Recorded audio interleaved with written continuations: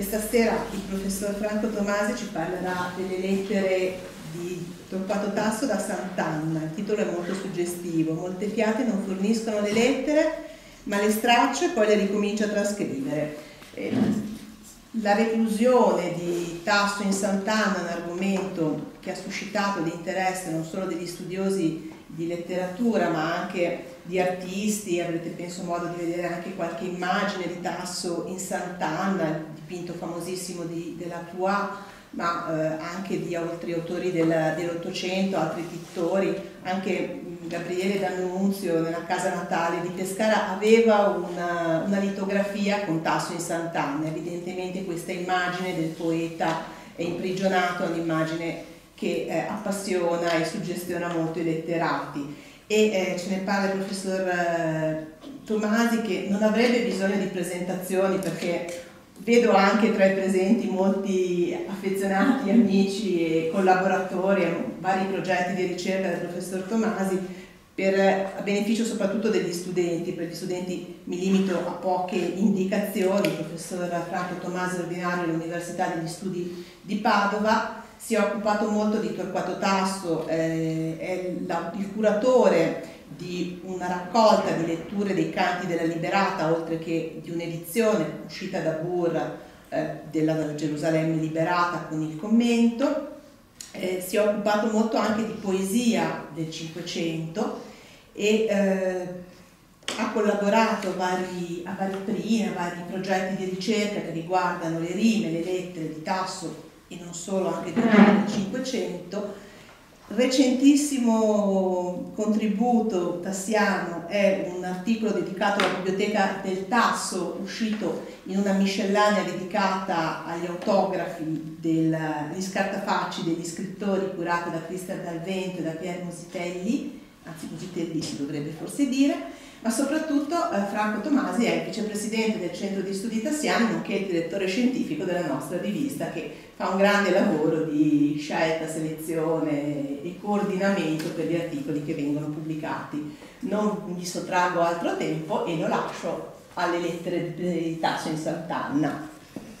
Grazie davvero per la presentazione e nulla, grazie, siamo talmente parati spesso, soprattutto fra amici, che mi sembra quasi retorico aggiungere qualcosa. Allora, la, la, mia intenzione in questa serata è di provare a fare una conversazione a voce alta con voi su un tema molto canonico, che è quello delle lettere di Torquato Tasso da Sant'Anna, ripercorrendo, eh, mi perdoneranno forse i colleghi che sono più esperti, alcuni luoghi noti, alcuni passaggi però importanti per capire la fisionomia di questa di questo momento della vita di Tasso della scrittura epistolare che lo accompagna e insieme se riusciamo anche o se riesco eh, a fare qualche riflessione di portata più generale sulla pratica della scrittura epistolare tassiana e il rapporto che Tasso intreccia con la scrittura in generale durante la eh, cosiddetta diciamo, eh, soggiorno a Sant'Anna, anche il fatto di usare delle degli eufemismi rispetto a quella che è una sorta di prigionia vera e propria,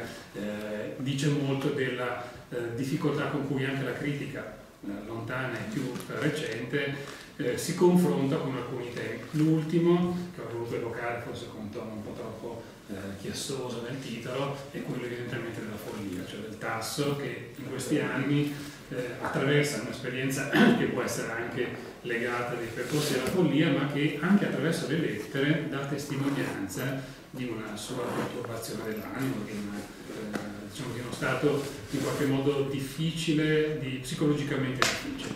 Eh, ma su questo, a questo vorrei arrivarci eh, progressivamente eh, assieme a voi. Il primo, il primo, punto di partenza l'ho già evocato nell'introduzione, è appunto il cosiddetto mito del tasso folle, tra biografia e mitografia eh, i due elementi si intrecciano immediatamente nella vita tassiana.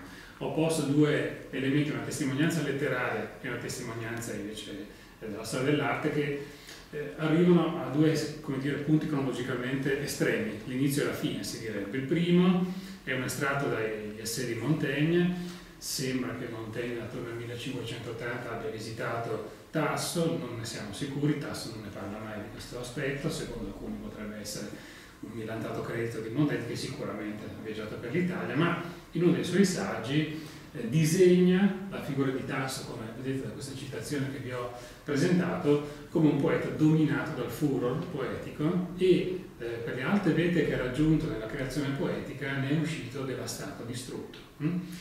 1580, quindi Tasso è appena entrato nell'ospedale di Sant'Anna e, e, già comincia a diffondersi questa idea di un poeta insieme geniale e nello stesso tempo schiacciato dalla sua eh, altezza di ingegno. L'altro lato, come vedete invece è un'immagine celebre che già ricordava Cristina prima, è della qua, siamo come dire pieno 800, e, è però un'immagine che ha, lungo, che ha larga circolazione nell'Ottocento, quella del tasso appunto poeta folle, dentro al, uh, alla prigionia di Sant'Anna.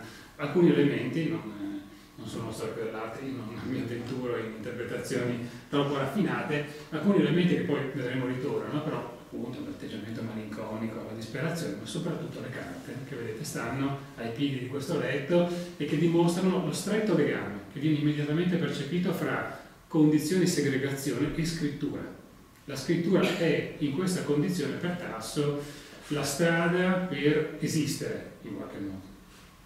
Allora, eh, Detto questo, il, il periodo della, del soggiorno a Sant'Anna inizia eh, l'11 marzo scusate, del eh, appunto 1579, è il momento in cui, come è noto, Tasso eh, è a Ferrara, dà in escandescenze, più o meno le testimonianze, testimonianze ci dicono che eh, perde il controllo, comincia a inveire contro le persone, viene portato incatenato come furioso all'ospedale di Sant'Anna. È una vera e propria eh, TSO, trattamento sanitario obbligatorio, che viene fatto da una persona che evidentemente perso il controllo.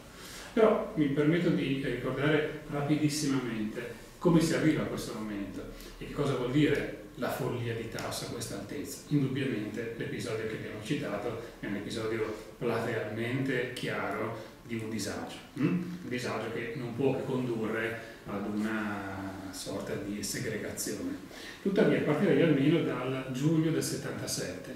Nel giugno del 77 Tasso, poeta di corte a Ferrara, e apparentemente vive una situazione lieta, felice e a bel riguardo e già però come dire, si sottopone delle cure mediche salassi per una sorta di terapia, diciamo così, di controllo di un umore che si va facendo via via più inquieto. In questo periodo Tasso manifesta, come noto, delle eh, profonde incertezze sul piano religioso. Hm? Eh, autonomamente si sottopone all'esame degli inquisitori di Ferrara per sottoporre i suoi dubbi di fede.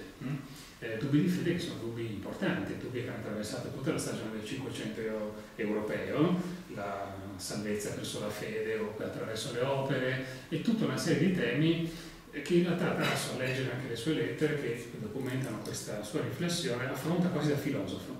Non è, come dire, l'incertezza dell'eretico che vuole rompere i confini, ma è un filosofo che riflette su questi temi e che ha delle incertezze. Questo elemento, che eh, va ricordato, ha però una, delle ricadute più complesse, non è solo una crisi spirituale o difficoltà tassiana. Innanzitutto eh, comporta il, il sentore da parte di Tasso di essere vittima o di vivere in una corte in cui queste idee vengono, serpeggiano, in cui sono vive, e ne parla direttamente con l'inquisitore. Non appena eh, il duca di Ferrara sa questa cosa, eh, diciamo non la prende bene, va tutte le furie e eh, per diverse ragioni, ma ce n'è una profondamente politica. Lo Stato di Ferrara è uno Stato che rischia di essere annesso allo Stato Pontificio se eh, il duca non avesse un erede maschio. Ma non è solo questo il problema. Nella generazione precedente Ferrara era stata, soprattutto per la figura di Renata di Francia, un luogo di fatto che aveva ospitato figure di chiara ispirazione eterodossa.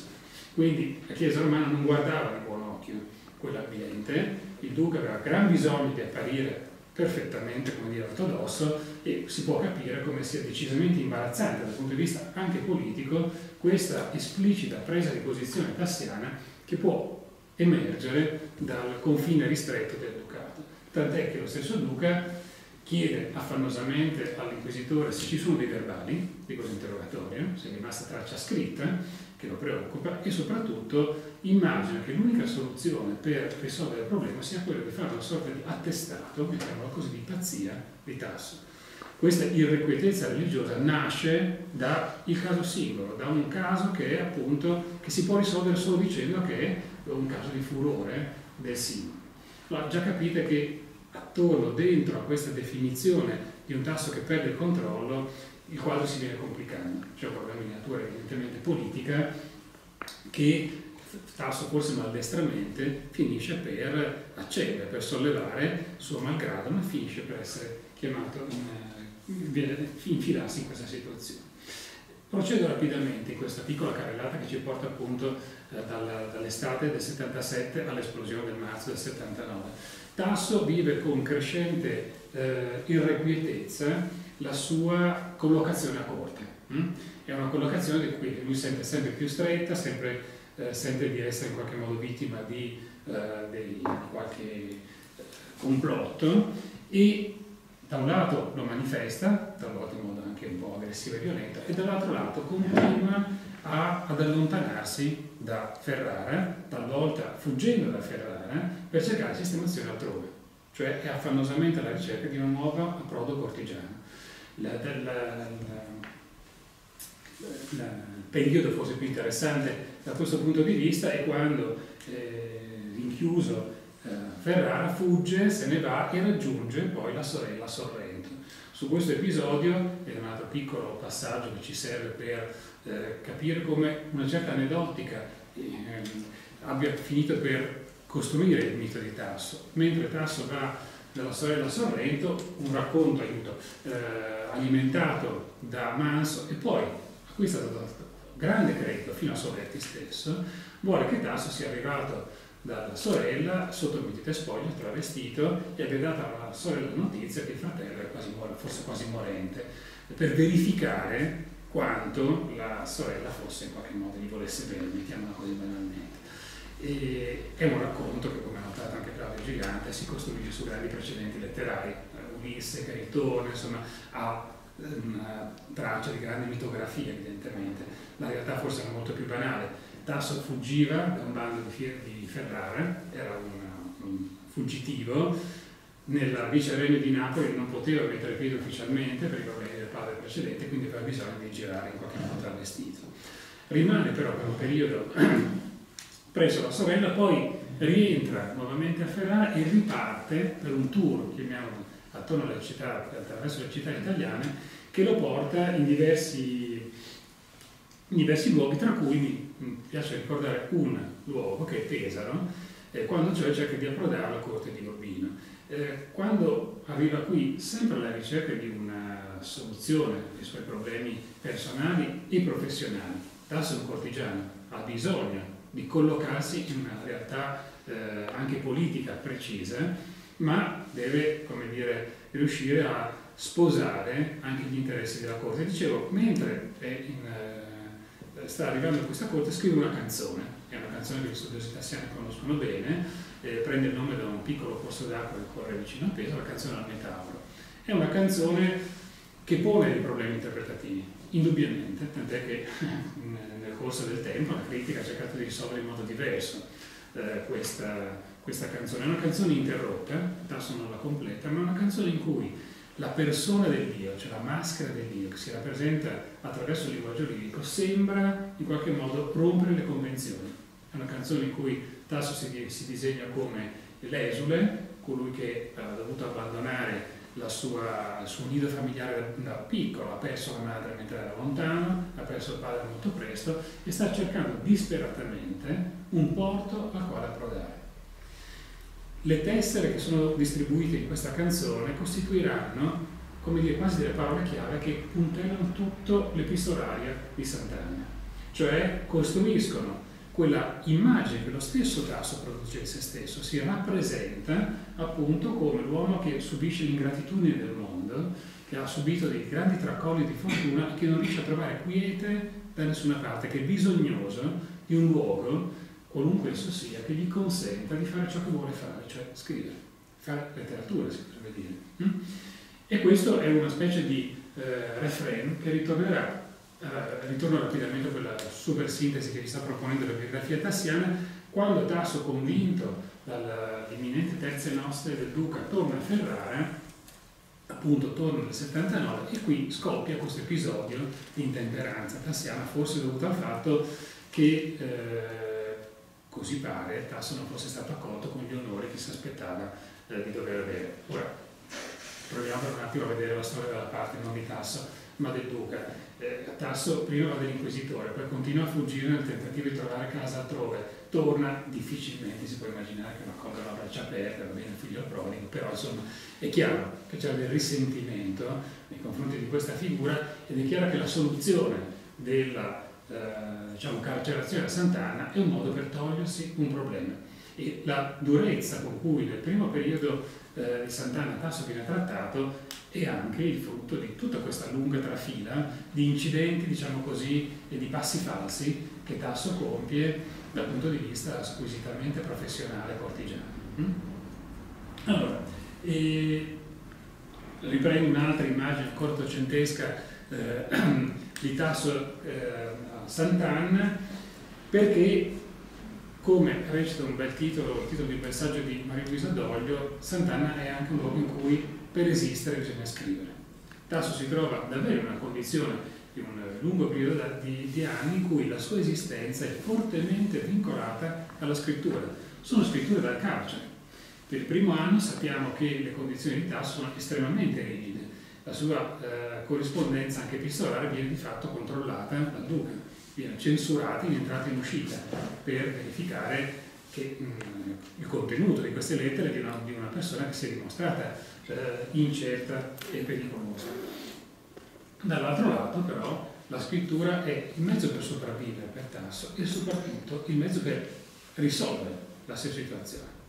Scrivere per esistere, appunto, come eh, diceva Maria Luisa Doglio, scrivere per risolvere anche la situazione. Allora, eh, Piccola parentesi di carattere se volete un pochino più scolastico, perdonate il, la, la, digressione, ma che ci è utile rispetto al discorso che vorrei, che sto cercando di ehm, attraversare con voi. Le lettere tassiane eh, non vengono mai pubblicate nel Cinquecento per volontà dell'autore. La storia del rapporto fra editori e autore, nel caso tassiano, è una storia che deve sempre tasso perdente sono sempre gli editori a, ad avere la meglio, cioè a prendere l'iniziativa e in qualche modo ad anticipare le eh, strategie e le prospettive che Tasso ha anche rispetto all'edizione delle lettere. Noi sappiamo, e più di recente grazie agli studi di Emilio Russo, che Tasso a un certo punto pensa ad allestire una propria raccolta di lettere. E questo ci permette di fare un'altra piccola osservazione di carattere più generale.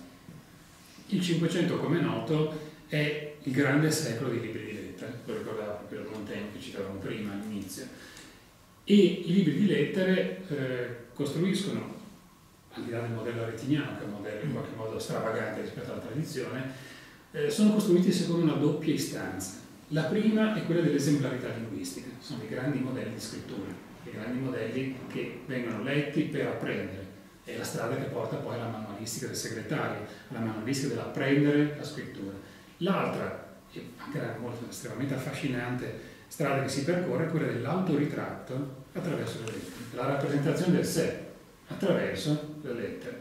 È un modello che si viene codificando nella prima metà del Cinquecento in modo molto forte e uno dei grandi codificatori è proprio il padre di Torquato Tasso Bernardo, che pubblica la sua raccolta di lettere che effettivamente cerca di armonizzare in modo perfetto queste due istanze. La rappresentazione dell'intellettuale, potremmo dire, che lavora anche nella dimensione politica e anche nelle sfortune politiche dimostra la sua saggezza e il letterato che propone il grande modello di scrittura di un classicismo volgare che intende imporsi alla platea. Rispetto a questo modello come si colloca Tasso? Come la scrittura epistolare tassiana, anche se eh, non abbiamo un suo libro autoriale che arriva. È un caso effettivamente di una certa eccezionalità, hm?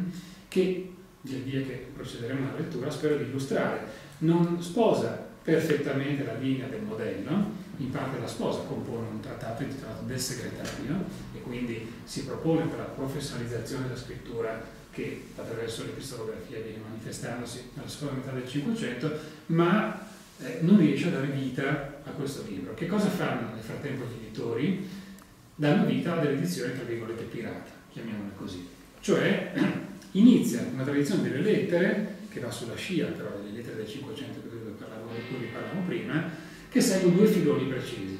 Il primo sono le cosiddette lettere poetiche. E il frontespizio che vedete qui sono delle lettere legate alla polemica che viene nascendo fra appunto ariostisti e tassisti e sono le lettere che Tasso ha scambiato con i revisori, i cosiddetti revisori romani, mentre stava eh, come dire, lavorando alla revisione del suo poema in vista della stampa. Una revisione che come sappiamo non giunge mai a conclusione, ma che sostanzialmente eh, costruisce un fitto epistolario fra Tasso che sta a Ferrara e i revisori che stanno a Roma di carattere squisitamente letterario.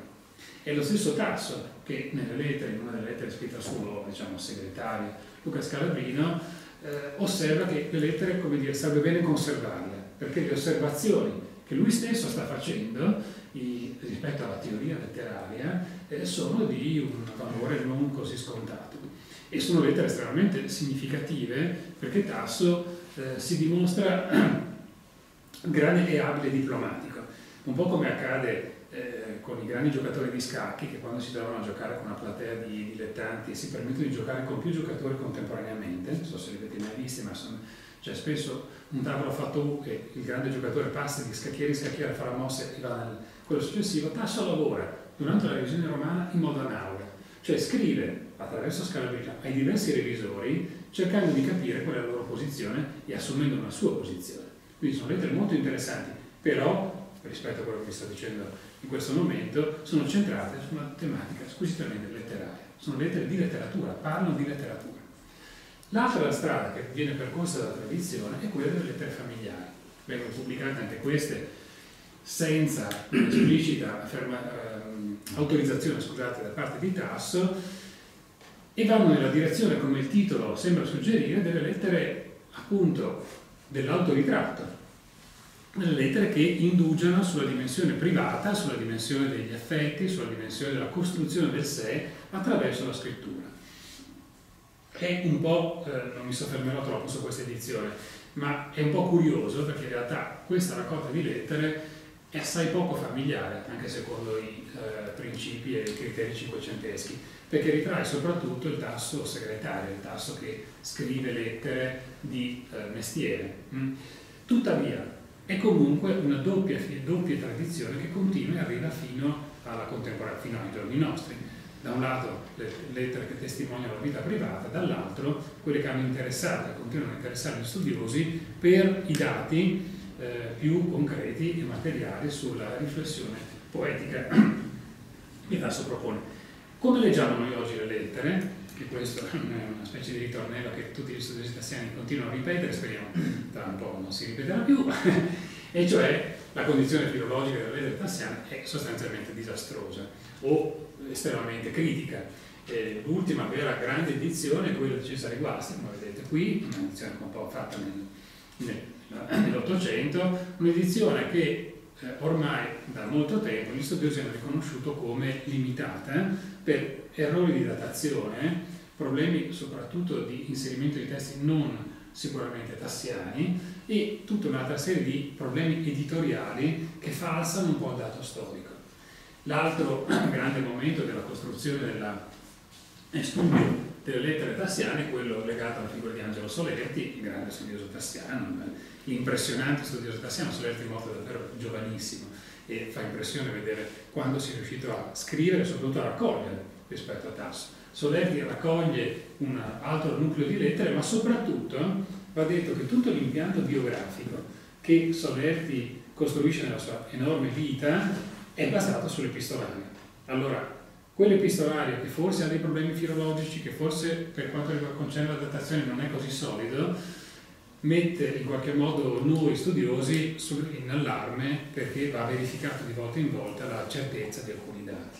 Da ultimo, lo studio che citavo in precedenza quello di Emilio Russo, che da tempo ha iniziato a lavorare eh, attorno alle lettere in vista di una nuova edizione, questa volta speriamo criticamente eh, e filologicamente solida e inappuntabile. E uno dei primi esiti, oltre ad alcuni interventi saggistici, è l'edizione del cosiddetto minutario estense, cioè un eh, materiale estremamente composito e disordinato che lascia eh, vedere un tasso all'opera per allestire un proprio libro di lettere. Uno dei tanti progetti eh, destinati, tanti cantieri lasciati a metà da parte di tasso, molte volte lasciati a metà perché superato dagli editori, gli editori li rubano il tempo, già producono una raccolta che diventa in qualche modo quasi eh, già vecchia quando eh, Tasso ci sta lavorando. Allora, per quanto riguarda la distribuzione temporale delle lettere, vi ho proposto in modo molto sintetico e con una micro approssimazione che vi prego di perdonare, la distribuzione delle lettere. Noi abbiamo pochissime lettere nel periodo giovanile di Tasso, ed è una mancanza che si sente diciamo, per gli studiosi perché è una fase molto importante, la fase ad esempio del concepimento della liberata in molti passaggi. Abbiamo invece un corpus significativo di lettere proprio del periodo di cui ci stiamo occupando oggi, cioè di Sant'Anna e infine un altrettanto corposo nucleo della stagione successiva a Sant'Anna. E quindi comunque le lettere eh, del periodo della prigionia sono quantitativamente eh, numerose sono numerose e complessivamente non sono poche, 1700 lettere, ma sono sicuramente eh, poche se si pensa alla frequenza con cui Tasso ricorre alla scrittura epistolare.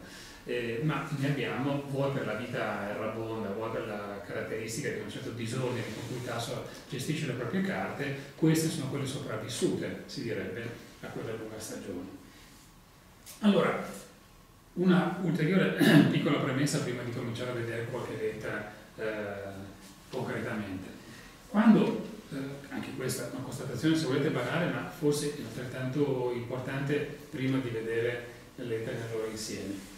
Quando Tasso viene imprigionato, in quel famoso eh, 1579, a dire la verità, rispetto alla platea dei letterati italiani, è un autore che ha pubblicato quasi nulla nel 1579 Tasso ha pubblicato una raccolta di rime giovanili all'interno di una raccolta di una silloge con altri, ha pubblicato piccole cose, ma non ha pubblicato ancora nulla. È un autore in qualche modo che non ha conosciuto la grande fama così tanto ricercata. Quando comincia la, la fortuna, diciamo così, anche editoriale di Tasso, del Tasso letto, dopo la sua entrata a Sant'Anna, viene pubblicata la liberata in modo abusivo contro la volontà tassiana, con eh, un commercio non sempre chiarissimo fra chi riesce a fare che cosa, ma sicuramente contro la volontà di Tasso. E poi, nel corso della sua prigionia, le prose e rime, una vera e propria best seller che invadono il mercato editoriale, pubblicando in modo sempre o quasi sempre eh, non autorizzato dall'autore testi in prosa e eh, rime di Tasso. Quando Tasso quindi chiude la sua parabola a Sant'Anna, paradossalmente è un autore affermato, ma è, si afferma nel momento in cui si comincia a diffondere la, anche l'immagine del Tasso, del poeta alienato, del poeta malinconico che sta in carcere e che eh, ha perso il controllo della sua produzione letteraria e della sua diciamo, dimensione professionale. Allora, tutto questo ci permette finalmente di arrivare alle lettere da Sant'Anna. Che cosa ci dicono queste lettere? Che appunto sono lettere della prigionia, sono lettere di qualcuno che è costretto, suo malgrado, a vivere fuori dalla società e con delle limitazioni che a dire la verità diventano, vengono allentate un po' nel corso del tempo e che tuttavia sono molto forti. Non se ne può andare, è vincolato, come dicevo prima, nella comunicazione con l'esterno, la sua corrispondenza è controllata e quindi deve, e nel contempo sente, come dire, questa crescere della sua, eh, della sua fama, ma sente, e questo sarà uno dei tratti che continuerà a ripetere sino all'ultimo giorno della sua vita, di non aver potuto godere anche economicamente di questa fortuna. Si sente come scippato di questa, eh, di questa fama che si viene costruendo. Allora, le lettere hanno molti... Eh, molte finalità all'interno degli anni di Sant'Anna. Eh, la prima finalità è quella della richiesta di soccorso, la richiesta di aiuto. Mm? Tasso, attraverso la propria opera letteraria, cerca di uscire dalla sua condizione e lo fa in modo insistente, la lettura continuativa delle lettere come dire, è un refrain che torna quasi una lettera su due, richiedendo ai vari signori a cui scrive un aiuto, un'intercessione, dei doni per migliorare la propria condizione in quel momento e soprattutto una possibilità di allontanarsi da Ferrara, quindi una mediazione col duca per allontanarsi da Ferrara. Tutto questo implica però da subito il ruolo di Tasso poeta. Tasso scrive in questo periodo una quantità enorme di testi, specie di natura encomiastica, che servono a Tasso strategicamente per tenere vivi i contatti con le varie signorie d'Italia. Sono una sorta di merce di scambio che Tasso usa per tenere viva l'attenzione dei suoi destinatari e per continuare a richiedere una sorta di aiuto. Da questo punto di vista è vero che la lettura dei testi mostra quasi una sorta di ripetitività, ma è anche angosciosa questa ripetitività. Vi ho proposto una lettera eh, che invia alla sorella eh, nella quale Tasso, come dire, riconosce le sue necessità e riconosce anche la difficoltà della condizione ma questo non gli impedisce di continuare ad avanzare richieste. Dice la lettera di vostra signoria datemi dal conte, del signor conte Ercole Tassone mi ha portato a grandissima consolazione. Una piccola osservazione rispetto a questo. Tasso in tutte le lettere non è solo la topica dell'epistolografia, si dimostra estremamente ansioso di ricevere lettere perché ancora una volta è il contatto con il mondo. È davvero, è fuori dalla topica del manuale della retorica un dialogo fra, fra assenti. Perché Tasso è inevitabilmente lontano dai suoi interlocutori e ha bisogno di mantenere un contatto epistolare fittissimo per mantenersi vivo, si potrebbe dire, per dialogare continuamente con tutte quelle figure che immaginano possono, eh, possono essergli di aiuto. E continua, me la ringrazio e me la raccomando. La prego che voglia affaticarsi perché io esca di prigione. In questo caso è molto più diretta la richiesta. Insomma, c'è una richiesta di aiuto costante che nel corso del tempo non viene mai scalfita. Tasso sente questa condizione come una condizione insostenibile. Vado avanti un po' per tutte le mosse politico-diplomatiche che suggerisce affinché questa eh, istanza venga soddisfatta. E mi interessa leggere con voi e commentare il capoverso finale. Di roba sono tanto cupido quanto basti a vivere come conviene c'è un'esigenza anche materiale. Mm? Tasso più volte ribadisce la necessità di avere libri, di avere una condizione eh, che gli consente di vivere decorosamente. E mi cresce la mia fortuna, la mia fortuna mi abbia dato occasione di aver bisogno di voi. Quando io speravo di aiutarvi, cioè si rovesciano i ruoli, io speravo di essere per voi il sostegno, invece siete voi ad esserlo per me. Ma è pur meglio essere aiutato dai suoni che dagli strani, cioè meglio che i familiari diano una mano piuttosto che chi sta fuori, i quali usano me con ogni maniera di alterezza e di orgoglio. Si costruisce in questa conversazione intima, familiare davvero, però questa idea della fortuna rovescia, che eh, combatte contro l'animo tassiano, ripercorrendo tutta una serie di elementi topici, e l'atteggiamento ingrato di chi gli sta a fianco. Gli altri usano con lui alterezza e orgoglio. Tasso si sente continuamente, orgogliosamente eh, offeso di non essere riconosciuto per le sue qualità e talvolta anche nei confronti diretti, anche con le figure diciamo più autorevoli, non manca di argomentare contro questa punizione che ritiene ingiusta, hm? profondamente. Da questo, come dire, sulla scorta di questa richiesta di aiuto, comincia a emergere dalla lettera quell'autoritratto di un eh, poeta malinconico, di un poeta che ormai, in virtù della condizione che sta vivendo, ha cambiato definitivamente il suo umore. È un ritratto che riprende appunto quelle eh, tessere lessicali, quegli elementi anche proprio di autorappresentazione che vi dicevo prima emergevano dalla canzone al metallo. C'è un tasso che parla di se stesso e si dimostra ormai, in virtù della condizione in cui si trova, mutato in modo definitivo. Mm? Ho portato due testimonianze, una è una lettera a Scipione Gonzaga, eh, il grande mecenate e interlocutore di Tasso. Se andiamo a vedere la parte che ho evidenziato in rosso, dice perché sono stanco e quasi sazio del mondo. Comincia a emergere quella figura che poi Tasso trasferirà spesso nei dialoghi della maschera dell'intellettuale, il poeta, del filosofo, che si allontana dal consorzio umano, che è stato stancato da un mondo che lo ha tradito e di un'altra cosa più desideroso che di quiete non discompagnata da reputazione. la quiete e il riconoscimento del mondo, la quale non andrò ricercando con molta arte né con molto studio, quindi un atteggiamento quasi di eh, disdegnoso distacco dalla realtà. Secondo, invece, eh, piccola testa da prelevato, eh, è interessante e l'ho riportata perché gioca retoricamente ancora una volta a presentare questa situazione di infelicità in qualche modo costitutiva che Tasso si trova a vivere all'interno della prigionia. È una lettera marchisa da est in cui eh, si deve rallegrare della nascita di un, di un bimbo, quindi teoricamente un bigliettino di felicitazioni. Eppure, pur assorbendo il suo compito retorico e comunicativo, Tasso inserisce un piccolo cameo, un ritratto della sua condizione. Dice, eh, direi di essermi rallegrato del nascimento del figliolo di vostra signoria illustrissima, se per questa mia malinconia potesse avere in me luogo alcuna allegrezza. Cioè, sono in una condizione tale che non è possibile per me rallegrarmi. Ora, è una sorta di curioso bigliettino d'omaggio, perché nel momento in cui il poeta eh, omaggia appunto il nobile, nello stesso tempo proietta anche l'immagine di se stesso dentro questo rallegramento, di un uomo che non può rallegrarsi data la sua condizione. E continua con un gioco, vedete, anche eh, argomentativamente sempre più articolato, e direi di rallegrarmi con esso lei se, non rallegrandomene in me stesso, potessi rallegrarmene con altrui. Mi trovo dunque piuttosto che non possa partecipare alla comune allegrezza e di seguito. La risolve con un gioco eh, raffinato dal punto di vista argomentativo, ma ciò che mi interessa osservare è come Tasso riesca in queste lettere continuamente a produrre queste immagini di sé che diventa costante tanto nelle lettere di negozio, cioè quelle più pratiche, quanto in lettere più ufficiali, hm? che accompagnano questa scrittura nella, eh, nella prassi eh, quotidiana.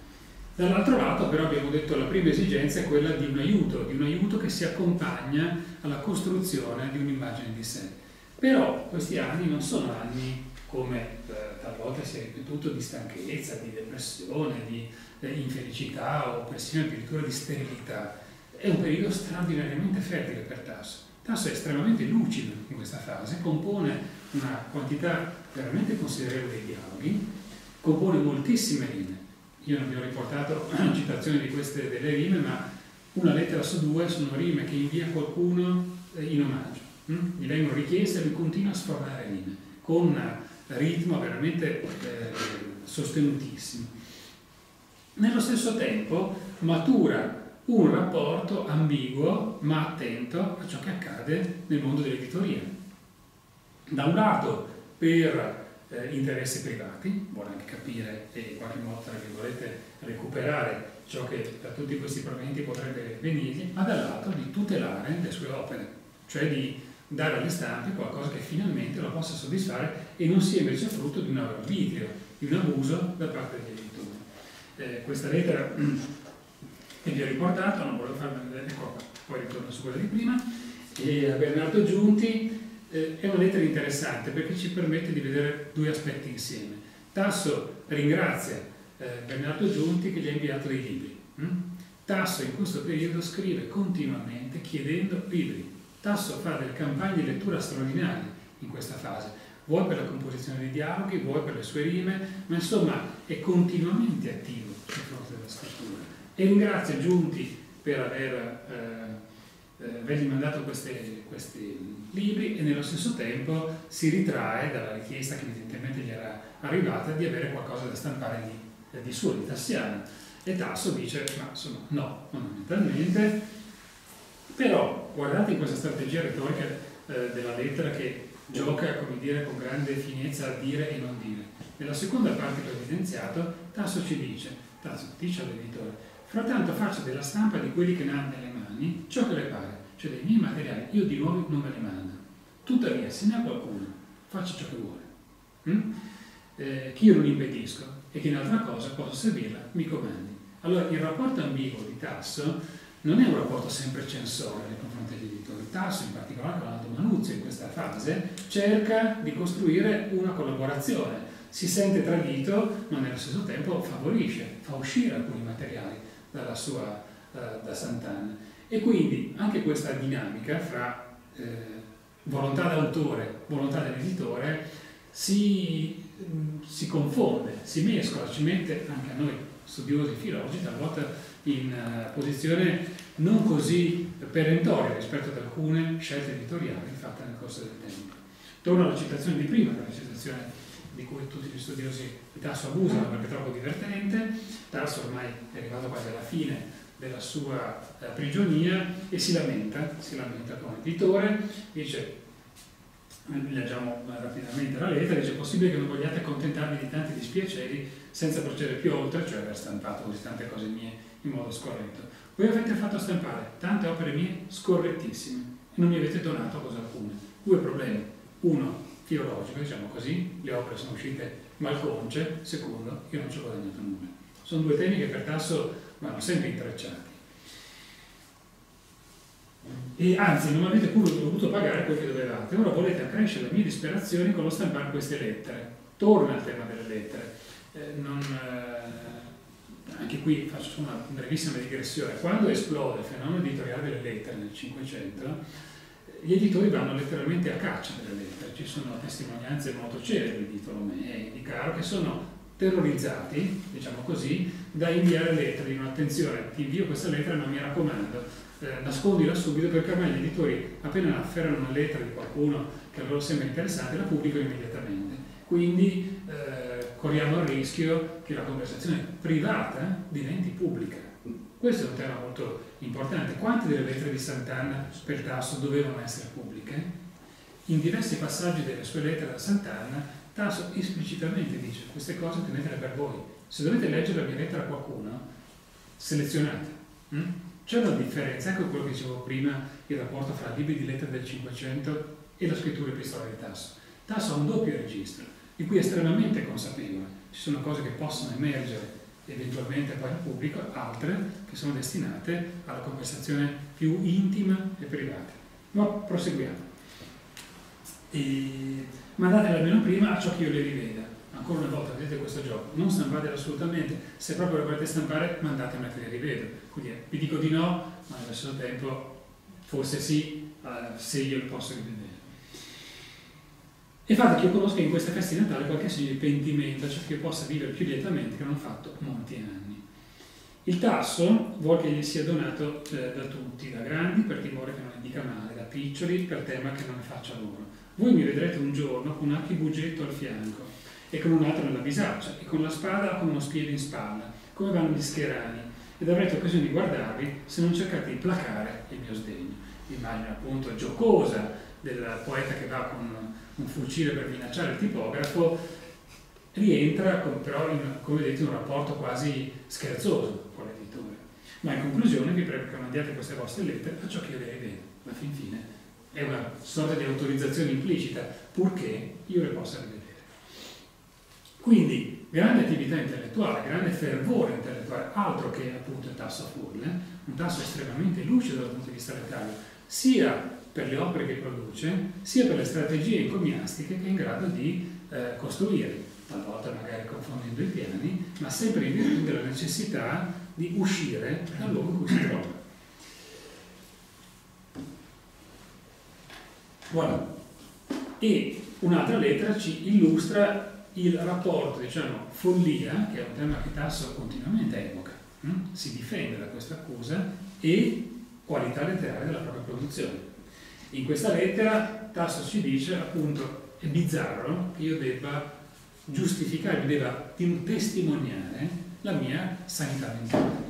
E lo farò, dice citando un esempio classico, come si dice abbia fatto Sofrote quando i suoi figli l'avevano accusato di essere folle. Gli ha presentato l'Edipo a Corona e tutti hanno detto va bene, non, non, si discute più. Allo stesso modo, un gioco come vedete anche di, eh, eh contro, di controfigure dell'antichità, farò io, vi mando due dialoghi che ho appena composto, sarete voi a giudicare se sono eh, un alienato un folle o se invece la qualità della mia scrittura non testimonia la, il controllo, la, la, eh, io, la, la, mia capacità di padroneggiare le mie, eh, le mie eh, competenze anche letterarie. Questo implica però evidentemente ancora una volta la possibilità di uscire dal luogo in cui si, ci si trova e per Tasso, ancora una volta, l'invio di lettere, la dedica di opere è estremamente funzionale a questa strategia.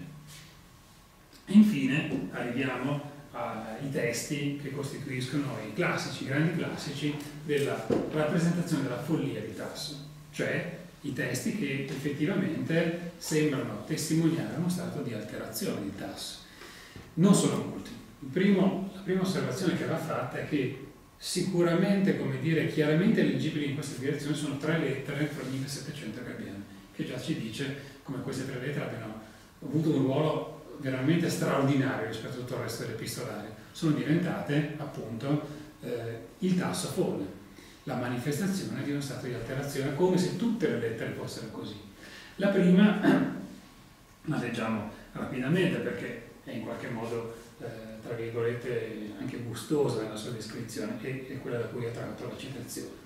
Dice, sappia dunque che questi, eh, questi malefici insomma, di cui eh, continuamente eh, che, continuano ad avvertire sono di due sorti, umani e diabolici. Gli umani sono grida di uomini, particolarmente di donne e di fanciulli, e rise piene di schermi e varie voci di animali, che dagli uomini per inquietudine mia sono già sono agitati, e strepiti di cose inanimate che dalle mani degli uomini sono mosse. Ci sono i rumori che sente. I diabolici sono incanti e malie, e come che dagli incanti non sia assai certo, perciò che i topi, dei quali è piena la camera, che a me paiono indemoniati, naturalmente ancora non solo per arte diabolica, potrebbero far quello strepito che fanno.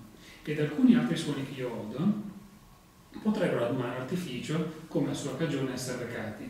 Non di meno, mi pare assai certo che sono stato ammagliato, il timore di essere in qualche modo aver subito questa specie di maledizione. E le operazioni della Maria sono potentissime, con ciò sia cosa che quando io prendo il libro per studiare la penna, odo suonarmi gli orecchi da alcune voci nelle quali quasi distingo i nomi di Pavolo, di Giacomo, di Girolamo, di Francesco, di Fulvio ed altri, eh, che forse sono maligni e delle mie quieti invidiosi, cioè c'è qualcuno che trama contro di me, ma scendono ancora, più in quel tempo che in alcun altro, molti vapori alla testa. Quantunque a sei volte scrivo innanzi al mangiare, in modo che i fantasmi ne sono assai perturbati.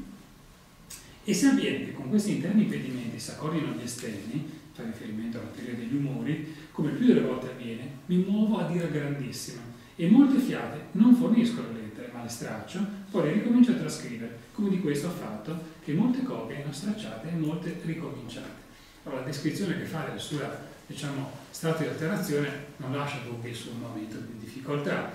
Se volete, forse l'elemento più quasi eh, curioso per noi lettori moderni è che la conclusione di questa lettera a Catania eh, sostanzialmente dice però se io potessi stare tranquilla vi assicuro che potrei fare il segretario e scrivere tutte le lettere che servono.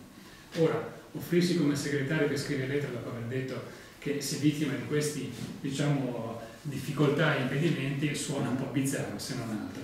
Tuttavia, questa è sicuramente una lettera che dimostra per una certa altezza eh, l'animo turbato di Tasso essere le ragioni di essere eh, più profonde.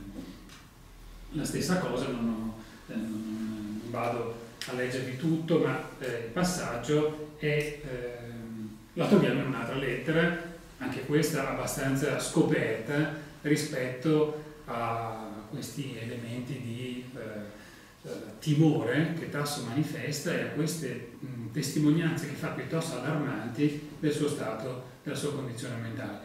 Un altro piccolo gruppo di lettere, eh, che sono anche queste molto celebri, eh, sono anche questo un numero molto ristretto, probabilmente non sono da ricondurre a una sorta di quadro clinico della propria condizione, ma sono lettere in cui Tasso, come si dice, parla in modo coperto, cioè eh, si riferisce ad alcune situazioni di personaggi della corte per indicare qualcuno che gioca contro la, la, sua, la sua, stabilità mentale, ma non, non, è così un'espressione diretta come queste che troviamo in, in questo caso. Allora, come dicevo prima, sicuramente la critica, la lettura, il lettore più comune, il lettore più raffinato, si è trovato a far conto con queste lettere, è inevitabile, bisogna in qualche modo prendere atto che esistono, che sono una testimonianza evidente di quella follia eh, che poi è diventata così eh, alimento della mitografia cristiana. E tuttavia, come dicevo prima, al di là di dimostrare una sorta di stato di precarietà, di condizione difficile, vanno messe su una bilancia assieme a tutte le altre che abbiamo visto in precedenza. A uno stato di incertezza di alcuni momenti corrisponde uno stato di grande felicità creativa. Eh, se un acquisto importante è stato fatto dalla critica tassiana negli ultimi 30-40 anni, è stato quello di rileggere con una lente diversa il cosiddetto secondo tasso, cioè il tasso che dalla stagione di Sant'Anna in poi comincia a scrivere, perché una vulgata voleva che il secondo tasso fosse sulla base della testimonianza di queste, non solo di queste lettere, ma dell'insieme delle lettere di Sant'Anna, un poeta stanco, affaticato, ormai privo della creatività della gioventù, eh, schiacciato da un peso dell'erudizione che rendeva le sue opere illeggibili. Tuttavia, si può riconoscere che siano altre le ragioni del fare poetica tassiana, ma certamente non, nella seconda parte della sua stagione, certamente non eh, per motivi di stanchezza o di scarsa lucidità, sono semplicemente un nuovo progetto letterario che dà sfumature in anni certamente molto difficili, ma furcosi. Non dobbiamo dimenticare che quest'uomo si trova effettivamente chiuso, rinchiuso in una situazione da cui deve uscire e l'unico modo per farlo è scrivere. Scrivere lettere, scrivere lettere che abbiano la capacità di rompere questa sorta di barriera invisibile che lo tiene chiuso dentro una stanza. Allora, per concludere, arrivo, eh, per dare un po' l'effetto eh, facile, se volete, dal punto di vista argomentativo, all'ultima lettera che noi abbiamo conservato di Tasso. Non siamo più a Sant'Anna, è l'ultima lettera che abbiamo conservato, scritta pochi giorni prima di morire. Mm? Eh, è una lettera che insomma risuona di molti dei temi che abbiamo però visto attraversare l'epistolario specie nel periodo di Sant'Anna. Ve la leggo rapidamente. Eh, che dirà il signor Antonio quando dirà la morte del suo Tasso? Tasso comincia a sentire eh, il rischio che un nuovo problema di salute sia quello che lo porterà alla morte. E per mio avviso non tarderà molto la novella, c'è una novità non tarderà tra, tra molto. Perché mi sento al fine della mia vita, non essendosi potuto trovare mai rimedio a questa mia fastidiosa indisposizione, sopravvenuta alle molte altre mie sorti quasi rapido torrente nel quale, senza poter avere alcun ritegno, chiaramente essere rapito. Non è più tempo che io, che io parli della mia ostinata fortuna. Sono i termini che abbiamo visto già dalla canzone Metauro.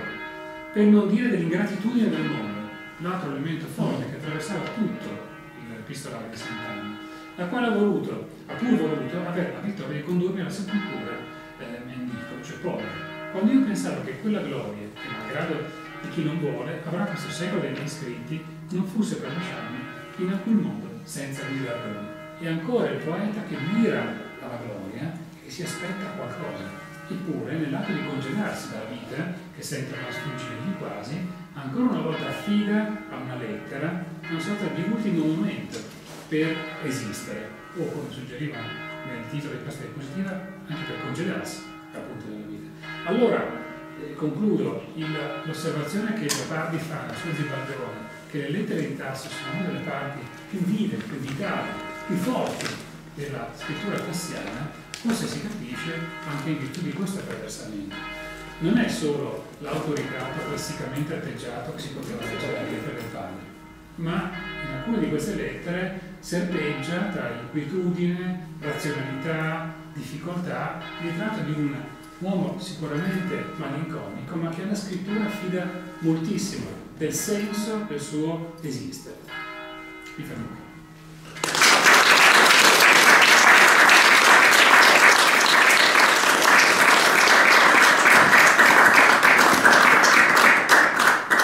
Ringraziamo il professor Tomasi per questa bella lettura dell'epistolario tassiano, in particolare della parte relativa alle lettere da Sant'Anna.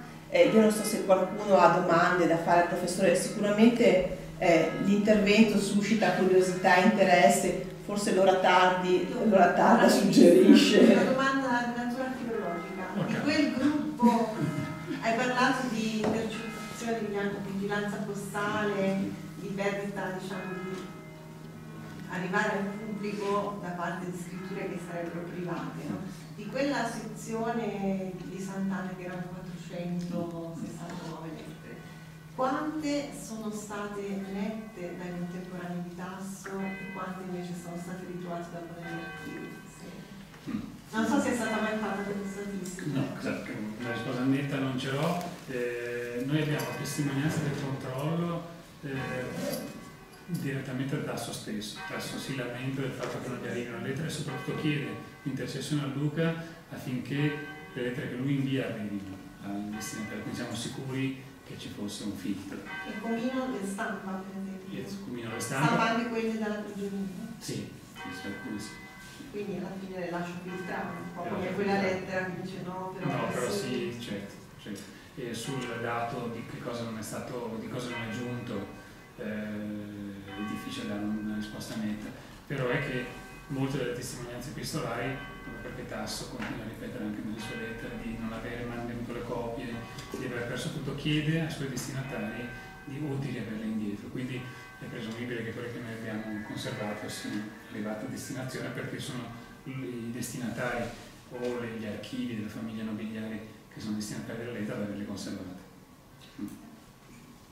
Ma eh, sull'onda del valore edilizia, soprattutto eh, la prima parte delle lettere, quindi di richiesta d'aiuto di molte delle varie corti, era, visto che appunto dovevano passare il filtro della censura o comunque del controllo del duca, quindi era, era politica farle passare, non era imbarazzante appunto per il duca magari. Questo non lo so, eh, eh, credo che il problema, credo che dà una risposta molto poco, eh, molto informale, diciamo così, credo che per il duca, per quello che vi ho cercato anche di dire, Tasso fosse un grande problema, una grande pianta diciamo così.